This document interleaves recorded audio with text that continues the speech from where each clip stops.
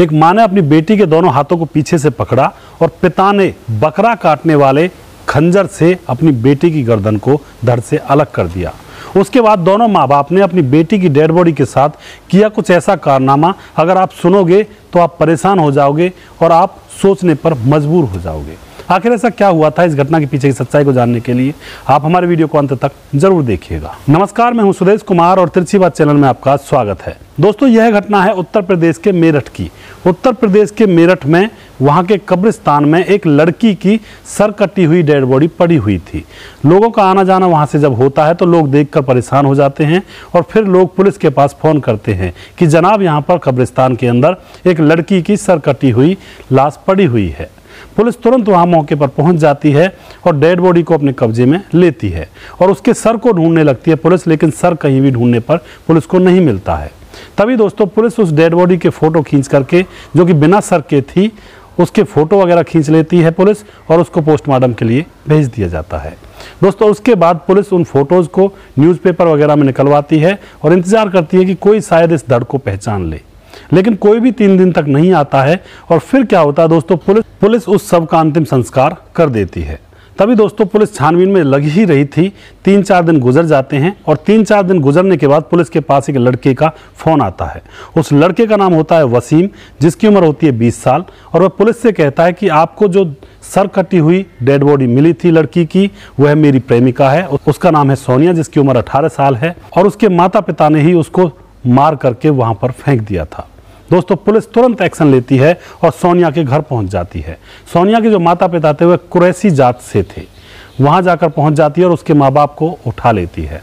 Police उसके, सोनिया के माँ बाप से पूछताछ करती है। तो सोनिया की जो माँ थी, वह तो उसका तो रो रो का बहुत बुरा हाल था, लेकिन जो सोनिया का पिता था, उसके माथे पर बिल्कुल भी चिंता नहीं थी। वो बिल्कुल फ्री माइंड था। दोस्तों, थोड़ी देर बाद उसका पिता कहता है कि हमने ही अपनी बेटी को मारा है। क्योंकि साहब, हम परेशान हो चुके थे।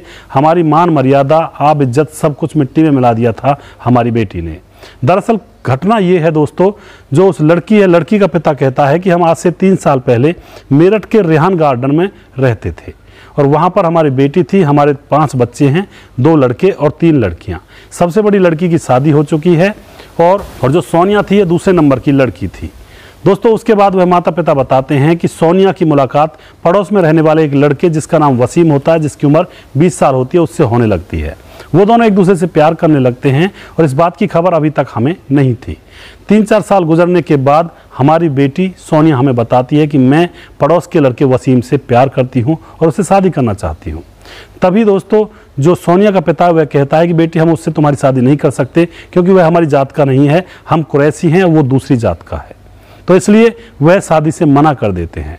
लेकिन दोस्तों, सोनिया को तो जिद लगी हुई थी उसी लड़के से शादी करने की। और वह बार बार अपने घर वालों से कहती है, लेकिन बार बार घर वाले उसकी शादी उससे नहीं करते हैं।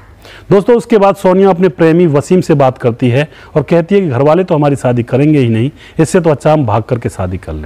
तो दोस्तों, अब क्या होता है? अब जो सोनिया होती है, अपने घर वालों को छोड़ करके अपने प्रेमी के साथ बोरिया बिस्तरा बाँध कर घर से भाग जाती है।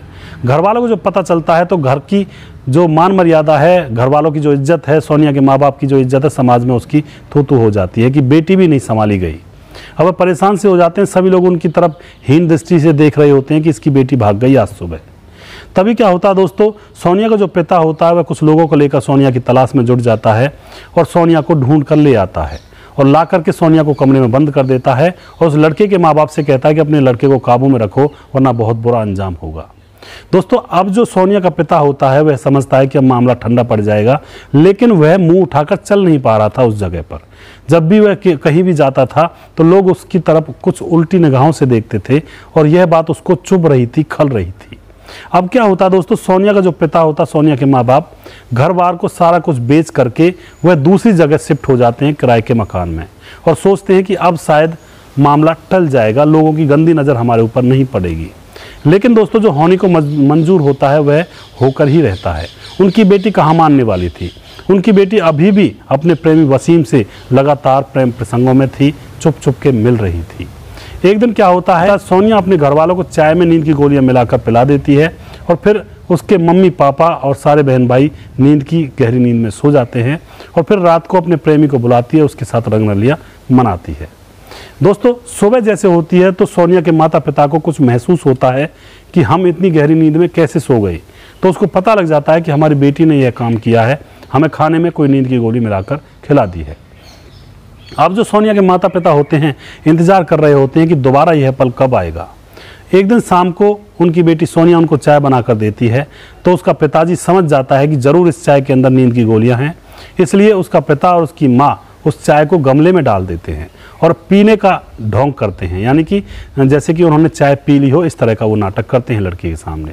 और फिर जैसे शाम होती है तो वह गहरी नींद में सोने का भी नाटक करते हैं। और जो सोनिया के और बहन भाई थे, वो गए थे, जो बड़ी बहन थी सोनिया की, उसको बच्चा होने वाला था हॉस्पिटल में, वो सारे बहन भाई वहाँ पर गए हुए थे। घर में सिर्फ़ सोनिया और उसके दो माँ बाप थे।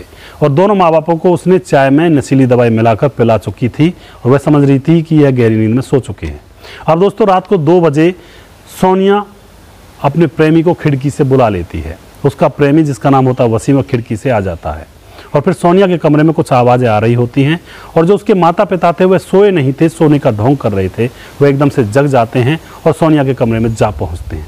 वहाँ जाकर जैसे ही पहुँचते हैं तो वसीम वहाँ से एकदम से फरार हो जाता है। और अब सोनिया को पकड़कर उसका पिता ज़मीन पर डाल लेता है और बकरे काटने वाले गंडासे को लेकर आता है।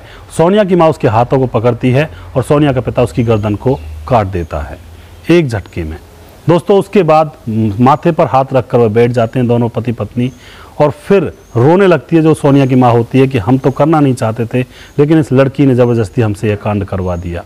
उसके बाद जो सोनिया का पिता होता है, डेड बॉडी को घसीट करके बाथरूम में ले जाता है, और डेड बॉडी को और सर को दोनों को अच्छी तरह से धोता है, सारा खून बह जाता है, साफ़ हो जाता है। उसके बाद कट्टे में भरकर उसके धड़ को वह साइकिल पर रखकर और पास के ही शमशान घाट में फेंक आता है। और उसके बाद जो सर होता है, उसको पास में बहने वाले नाले में उसको फेंक देता है। और दोस्तों, पुलिस को यह मामला सारा कुछ पता चल जाता है। पुलिस उस साइकिल को बरामद करती है और उस हाशिए को बरामद करती है, जिससे उस व्यक्ति ने अपनी बेटी का सर काटा था। पुलिस उनको अरेस्ट करके उनको जेल में भेज दिया जाता है। और जो माँ होती है उस लड़की की वह तो बार बार बार यह कह रही थी कि हम अपनी बेटी को मारना नहीं चाहते। उन्होंने हमारी इतनी बेइज्जती करवा दी थी, हमारा जीना मुश्किल हो गया था, इसलिए हमने उसको मार डाला। दोस्तों, पुलिस उनको अरेस्ट करके जेल में भेज देती है। उनके ऊपर मुकदमा दर्ज किया जाता है और अब मामला कोर्ट में है। तो दोस्तों, आप यहाँ पे क्या कहना चाहोगे? क्या उन दोनों माँ बाप ने सही किया? ये जो डिसीज़न था, ये सही था। वो अपनी इज़्ज़त बचाते हुए शहर शहर घूम रहे थे और फिर भी उनकी लड़की उनकी नाक कटवाने पर तुली हुई थी। तो क्या उस माँ बाप ने सही किया? या फिर वह लड़की अपनी जगह पर सही थी कि उसने प्यार किया था? आपको क्या लगता है? आप अपनी राय कमेंट बॉक्स में लिख सकते हैं।